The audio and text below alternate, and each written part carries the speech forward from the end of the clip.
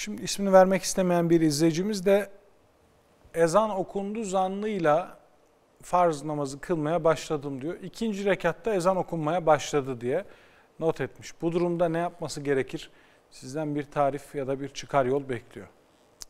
Muhakkak surette e, namazı kılabilmek için vaktin girmiş olması gerekir.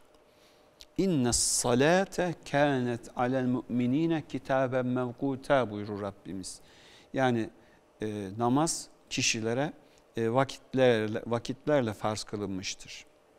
Vakte vurgu yapıyor burada. Dolayısıyla vakit girmeden kılınan namaz geçerli değildir, farz olarak geçerli değildir.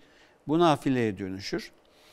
Efendim e, eğer şayet o namaz kılarken ezan yeni, yeni okunuyorsa, vakit yeni girmişse bu farzı yeniden kılacaktır. Benim aklıma şu geldi mesela hocam. Hani belki normal zamanlarda bu çok sorun teşkil etmeyebilir ama Ramazan'da biz mesela ezana değil de aslında vaktin girip girmediğine biraz daha dikkat ederiz. Evet. Çünkü müezzinler de insan. Uyuyakalabilirler, teknik bir problem olur, elektrikler kesilir, o an gelmez, bir dakika sonra okunmaya başlar veya erken okunur. Bu tarz riskler var.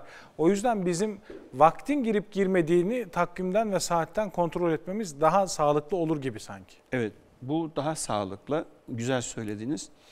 Ee, e, ezanın okunmasını illaki beklemek değil de vakit girdi mi girmedi mi önemli olan budur. Çünkü buyurduğunuz gibi bazen imsak vaktinden sonra müezzin geç kalabilir, uykuya dalmış olabilir, insanlık halidir, böyle durumlar olabilir. E, o yüzden burada önemli olan vakittir, vaktin girmesidir.